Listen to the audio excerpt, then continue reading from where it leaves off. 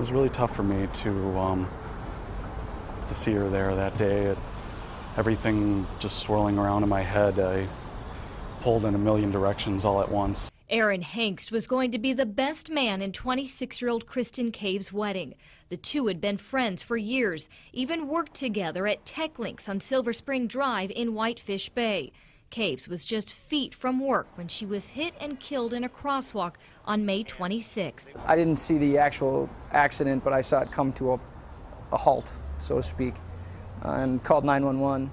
Um, so it's it's been it's been tough. Doug Niemeyer hired Caves at TechLinks nearly a year ago, knowing right away she would be a great fit. Her positivity, I mean, her just overall general outlook and her sort of drive to, you know, better herself, so to speak. I mean, I, she was a great person already. The company dedicated this bench in her memory. Employees covered it with flowers in her favorite color. We did it for her family to let them know how much we appreciated her and what significant loss that it is. It will also serve as a reminder for drivers to slow down. I hope so. I really hope so.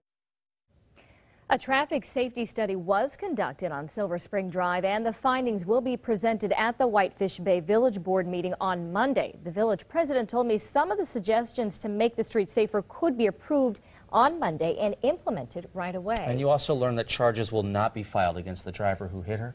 I did, that's right. Police say the driver was not impaired and was not on a cell phone at the time. The driver will, however, be issued a citation for failing to yield the right-of-way to a pedestrian.